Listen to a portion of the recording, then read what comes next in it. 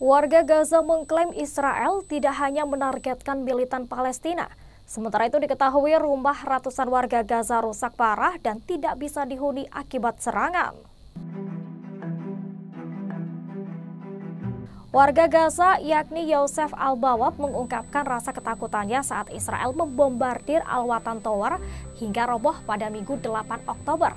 Al-Bawab yang tinggal di sebuah gedung di seberang Al-Watan Tower mengungkapkan ia dan tetangganya mendapat peringatan dari militer Israel untuk segera meninggalkan rumah sesaat sebelum serangan dilancarkan. Adapun bangunan yang ditinggali Al-Bawab bersama 150 orang lainnya rusak parah dan tidak bisa dihuni. Bahkan beberapa rumah dan bangunan lain sekitar Al-Watan Tower juga rusak parah pasca pengeboman. Al-Bawab mengungkapkan Israel sebelumnya mengatakan menargetkan pejuang perlawanan, situs militer dan juga bangunan milik Hamas, tetapi kenyataannya justru sebaliknya. Sementara itu Muhammad Salah dari lingkungan Belt Lahia di utara Gaza mengatakan ia meninggalkan rumahnya dan berlindung di sekolah yang dikelola oleh PBB. Tidak sendirian, keluarga lain yang berasal dari daerah yang sama dengan Salah juga ikut mengungsi.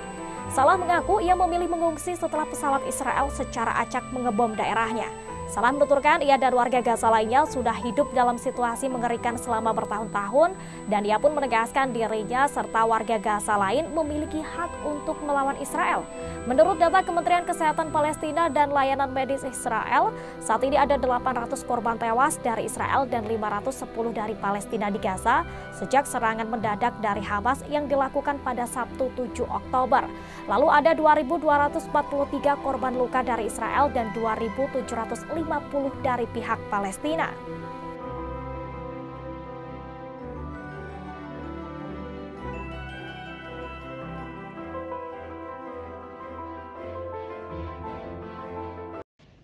Jangan lupa follow, like, dan subscribe sosial media Tribun Jateng.